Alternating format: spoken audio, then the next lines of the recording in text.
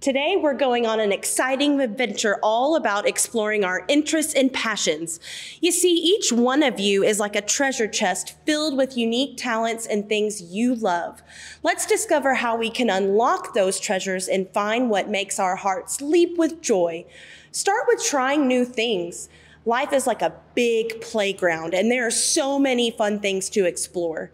Try different activities like drawing, dancing, playing sports, or even learning to cook with grown up help. You might discover something you're really good at and enjoy. Listen to your heart. Close your eyes and listen to your heart's whispers. What makes you feel super excited and happy? It could be something as simple as taking pictures or playing with puzzles. Follow those little sparks of joy. They might lead you to your passion. Ask yourself questions such as What do I enjoy doing the most? Or what makes me feel like time flies by? Your answers can give you clues about what interests you like the most.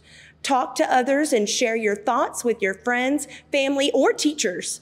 They might have great ideas or experiences that can help you explore new things. Read books about different topics and see if any of them create curiosity inside you. Books are like magic portals to new worlds and adventures. Finally, believe in yourself and remember you are capable of amazing things. Believe in yourself and your abilities. With hard work and determination, you can achieve anything.